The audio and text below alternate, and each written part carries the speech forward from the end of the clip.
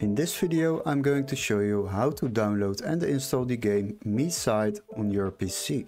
So if you buy games at Steam, it can get really expensive, especially the latest ones. Plus downloading from random websites can lead to viruses. And nobody wants that. But don't worry, in this video I will show you how to find this game without overspending and keeping your PC safe. So open your Google browser for the first step and before we start I would like to ask you to subscribe to our channel and like the video. Once you have done that, we need to locate this game on Steam first before we can proceed to another website. So go to the Steam website and after that search up the game MiSide. So there it is, we select it and scroll a little bit down.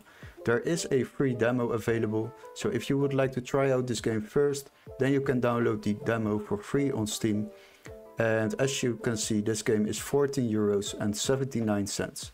But we got a little workaround for that. So please follow these steps and you will be set up within a couple of minutes.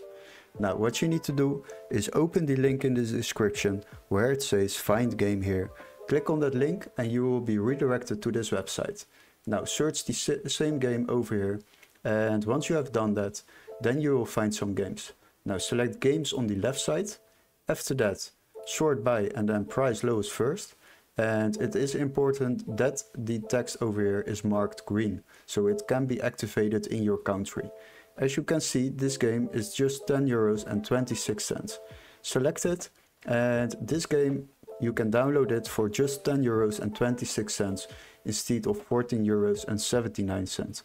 So it is a little bit cheaper than on Steam itself, but you can download this game through this website on Steam because you will receive a email confirmation after you purchase it. And all the steps are included which you need to follow including a activation key.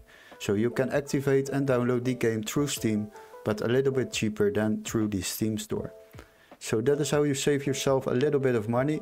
Hopefully this video was helpful. Don't forget to like and subscribe and we would love to see you in our next tutorial. Cheers guys